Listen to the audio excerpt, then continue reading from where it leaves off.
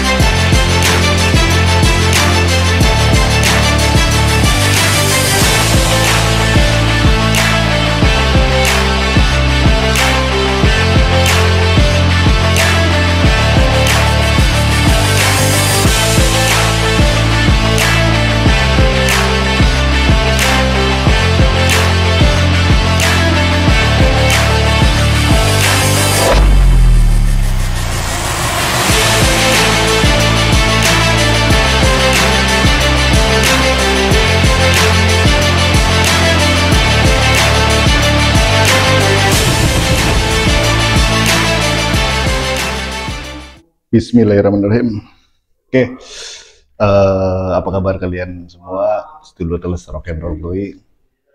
Hari ini gua akan bercerita tentang satu klien, klien baru gua yang eh, kemarin lusa itu sempat hubungin kami rock and roll koi karena ada trouble pada kolamnya. Sebenarnya sih ini kolam kolam baru jadi juga.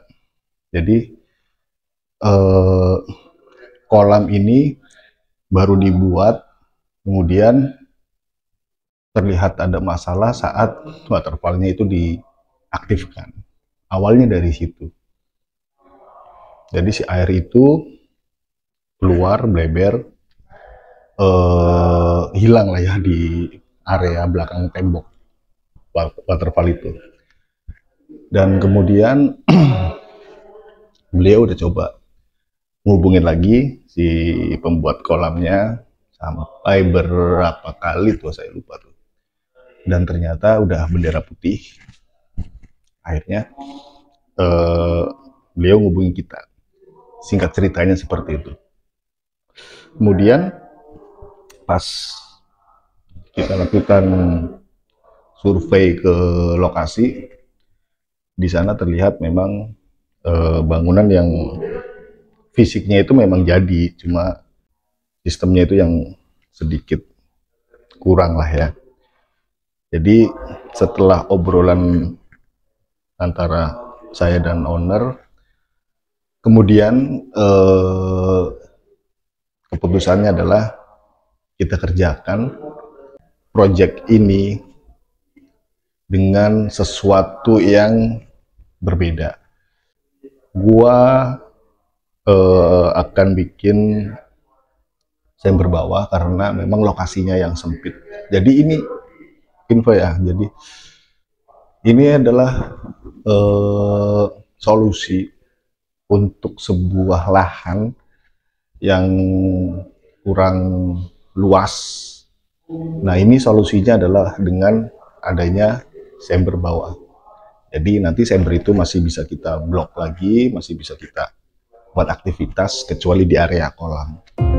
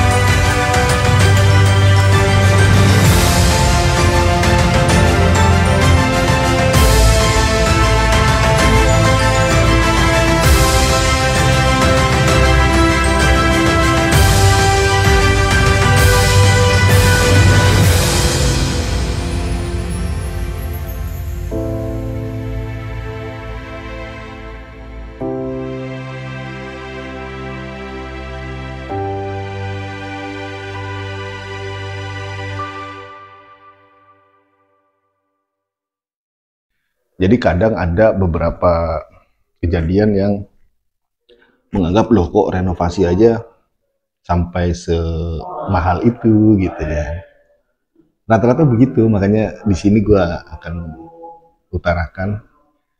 Jadi ada hal-hal yang notabene tuh kita nggak tahu.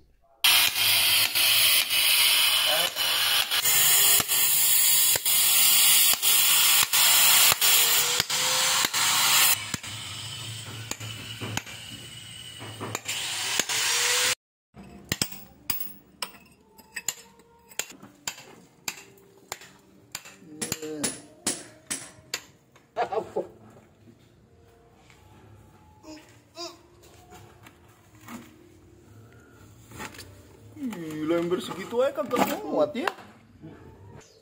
Mantap. Kata Karun.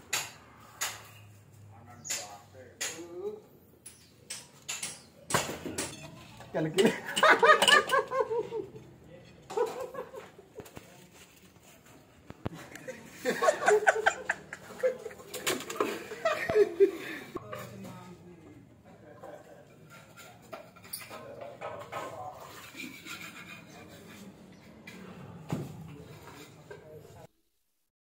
Di dalam situ ada apa ya kan terus dari dari kolamnya sendiri aja kita eh, nggak tahu speknya itu seperti apa jadi seni-seni renovasi itu jangan dilihat dari kata renovasi pasti murah.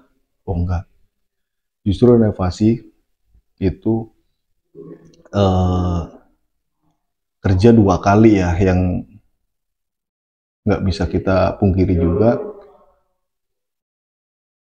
Ekstra ekstra tenaga dan ekstra pikiran itu di situ lebih tercurahkan ke situ karena selain kita akan ngebangun kita harus ngebongkar. Dulu jadi di situlah eh, yang ngebuat kadang-kadang renovasi itu budgeting itu hampir sama dengan bikin baru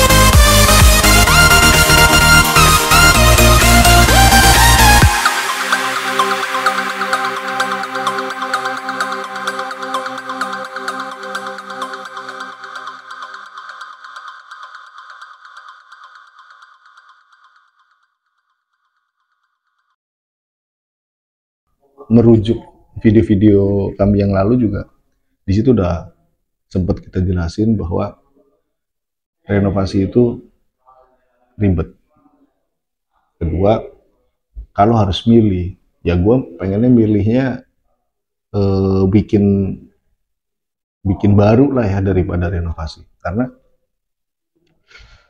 kalau kita bikin baru kita dengan desain sendiri dengan eh, segala sesuatu tuh yang dimulai dari nol.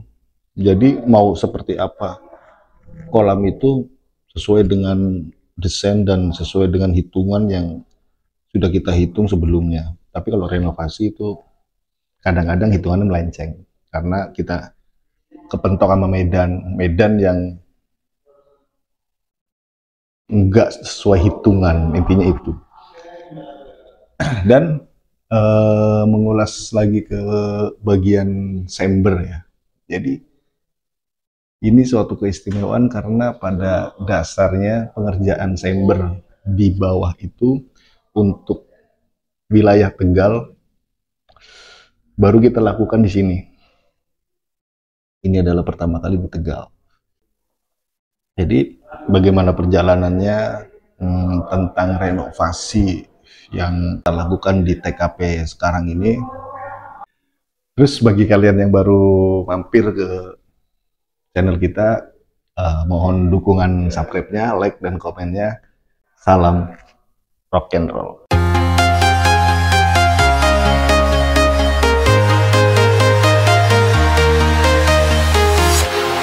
Walking alone, the streets are empty. The only thing I can see is my own silhouette. I'm getting stronger, step by step. The clock is ticking, but there's no time for regrets. I've been flying from town to town, from London to Taiwan. I've been all around the globe trying to protect your soul.